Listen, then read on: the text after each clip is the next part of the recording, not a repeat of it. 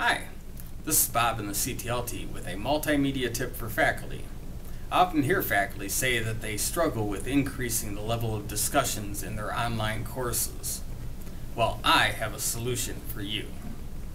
Many know Diigo is a great resource for social bookmarking and researching, but it can also do so much more.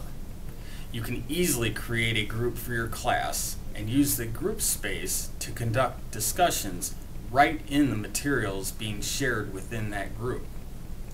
Find some articles or online resources relating to your classroom topic. Bookmark it within Diigo and then share that bookmark within the group.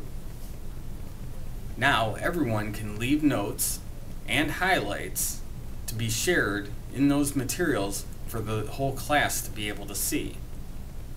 Replies can also be handled within the notes left in that document.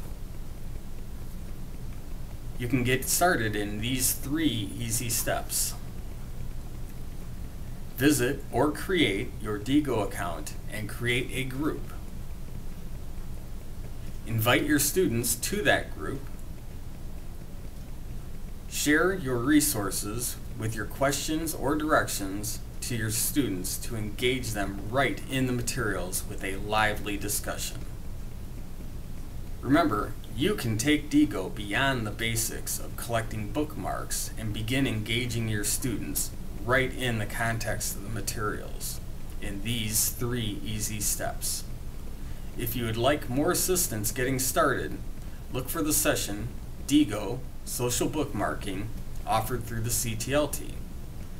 Also, if you have an idea that could be developed as a multimedia tip, please email us at ctlt at waubonsee.edu and let us know.